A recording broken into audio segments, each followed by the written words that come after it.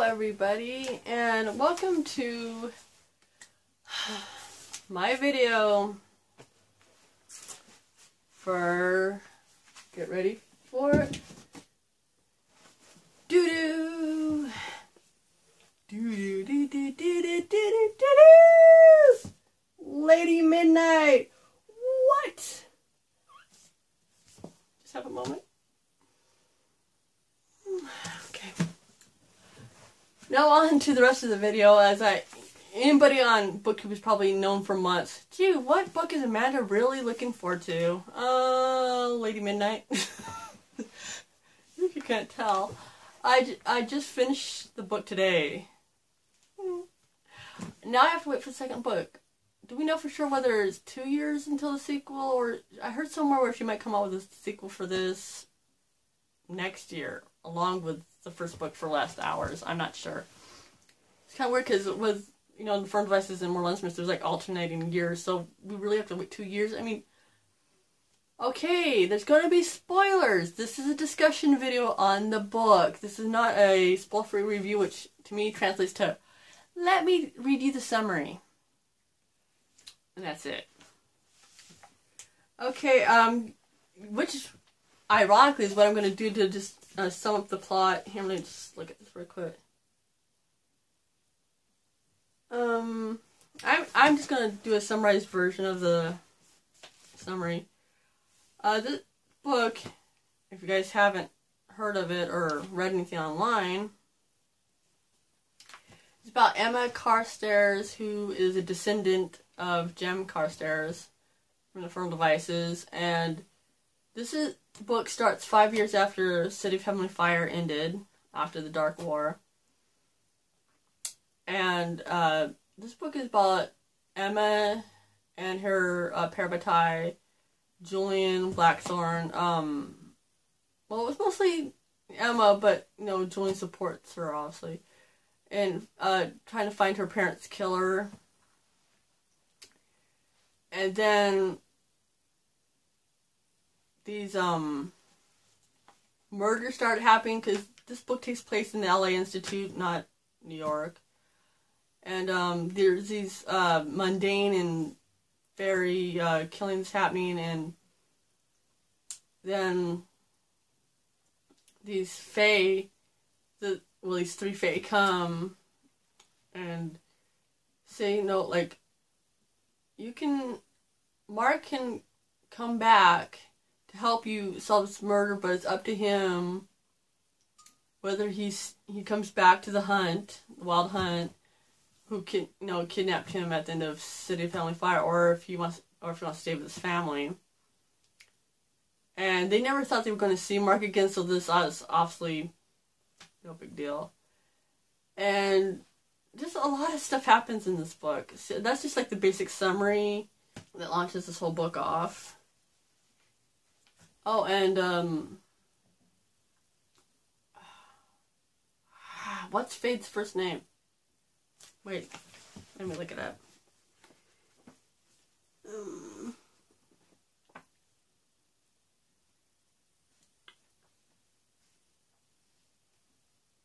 just a moment.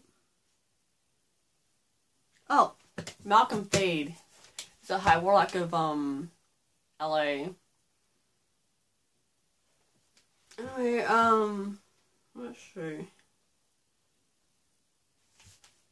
Now that we've talked about the plot, well, it's a short summary because the book says a lot more, and I don't want to like read for the next, you know, five minutes or, or a couple minutes, whatever. Uh, characters. Um, I love Emma, and I love all the Blackthorns family members, and I love Christina. She's a nice uh, add to the addition to the books. And also, of course, love the guest appearance of Magnus in there a couple times. And, uh, just a moment.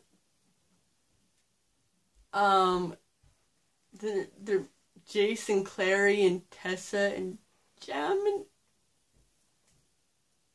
yay, and Simon and Izzy. Oh my God, both the epilogue and the um, in this book major cliffhanger. Thanks a lot, Miss Cassie. Thanks a lot.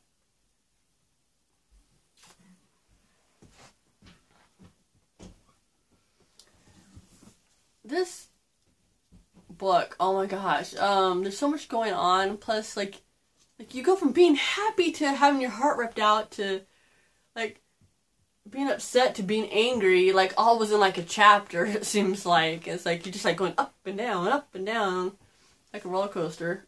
Excuse me. Um, my fa- my favorite male character, hands down in this book, that of the new char- of the new characters, is Julian. That boy, young man, is freaking amazing. I mean, seriously, he is. He is so. I am like completely. I completely love him so much. I love Emma too, but Julian's just on a whole nother level. How amazing he, and proud I am of him. He's just an amazing character, an amazing person. Um. And uh okay, my next category is shifts that have to happen. Who do you think my number one is? Come on. Raise your hand. Gemma. Julian and Emma have to happen in this freaking trilogy. They've set this up. They've made us attached to these two like since in since City of Heavenly Fire. So I have an idea. Hmm. I came up with an idea and how to get out of this and how to make us happy. Because if they, if Emma and Julie don't happen, ugh, no, no, no, no, no, no, no, not even gonna go there. I think because it's fiction and we can do whatever we want. That Clary comes up with a rune where either Julian and Emma can be parabatai and a couple. Like it's creating a rune that makes it possible to like, you know, depower the parabatai thing and that's why they can't be together and all that. Cause oh my god. These two have so much love and passion and friendship and everything between them. It just has to happen. Not not just for a few for this book. It has to happen like forever. So either Clary can create a rune where they can be parabatai and a couple, or I thought of another rune that you know could just pop into Clary's head at some random time. What about a transference rune?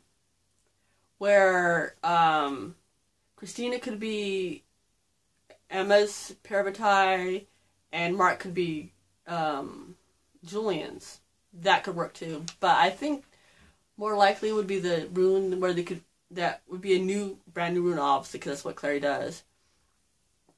That where they could be you know parabatai and together without you know the whole going mad and hurting people and each other and all that stuff. And my other co- people that I think should be together, not as much as Gemma, but I want um, Christina and Mark together. I do. I ship them so hard. Not as hard as Gemma, but really hard. I don't want her with Diego. I don't have anything against him. I just think he's like he's your ex. Leave him in the past. You and Mark, please have her and Mark be together. Um, I don't want. I'm kind of glad that Mark kind of broke things off with Kieran because he, if he was gonna be with Kieran, then he'd have to go back to the hunt and leave his family. He's he should not do that. We don't want to pull a Bella. And when I say pull a Bella, I mean put whoever you're dating above your friends and family and everything else in your life. Don't do that, Mark. Please. But we we all know what decision he made at the end of the book, so way to go, Mark. Um let's see, what other thoughts do I have? about this book. Um, I love the book. I think it's amazing. Uh, the cliffhangers are gonna drive me nuts. Um, I love Emma and and Julian. I think they need to be together, just like Jason and Clary needed to be together. And we all know how much Miss Cassie screwed with them over the six books. I mean, how much time were really Clary and Jace actually happy and together? Very little time. Um. Oh, let me talk about the um, bonus scene. I hope my roommate doesn't hear me because he's yeah. I don't want to give him spoilers. But with you know, Clary and Jace and Izzy and Simon and Magnus and Alec in the um it's not an epilogue, it's like a bonus scene kind of thing, like right before Clary and Jason on that portaled to LA. This is I didn't know that at first because I kind of cheated and because I want to know what, how many scenes um that Emma and Julian had together, you know, like romantic naughty scenes. And I accidentally saw who the killer was before it was revealed, but I didn't know how they got to that conclusion or why. Oh, yeah, I was talking about the um, bonus uh, bonus story, you know, uh, Simon and Isabel's engagement party. So happy about that. Oh, Clary better say yes to Jace. As I often say, she better say yes, and that better happen. And it better be a long, beautiful scene when that happens. And Alec and Magnus have two boys they've adopted. Aw. Little warlock and Shadowhunter. And one little warlock child and one Shadowhunter child named Max and Raphael. Aw. I'm happy actually that Alec and Clary get along now. I was like, finally. About time. Uh, so yeah, I was and oh my gosh, Jace was so romantic when he public to Clary. Oh my god, I I was like tearing up. Seriously, I was like, you have to say yes, you. And then they leave us hanging. It's like what?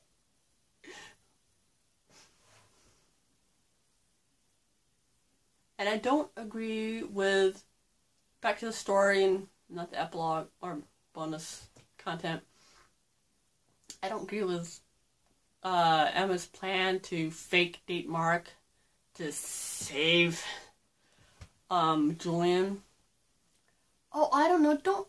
Uh, yeah. First, uh, Mark walks in on Diego and Christina. Why didn't you just tell her how you felt? I mean, he kind of did, but not really detailed way. I mean, um, but I think um, Emma should have been honest with Julian and told him what Jem told her instead of really shattering his heart like Julian needs that or deserves that in any way. So hopefully that all works out. And anybody who wants to get on me to like some petition or a campaign or whatever to get Julian and Emma together because we don't know how it ends because we're really going to have to wait like literally like four wait. Four four years to find out the ending of this trilogy so it could go our way. I hope it goes our way because if it doesn't i'll be like mm, no um to wrap it up hmm because i could go on and on and on about how much i love this book I give this uh, book a five out of five stars. I know, shock. You have, you haven't been talking about this book for months. I'm just so happy after like waiting for three years because literally it was supposed to come out a year ago, but we'd been waiting two years. We'd known about it two years prior to that. Then when I had to find out wait had to wait a year, I was like, no. Oh my gosh, I'm so like I remember last spring going, oh my gosh, I'm so looking forward to this book. I'm so like, what do you mean it's been postponed for a year? And then now I have it. Isn't it beautiful?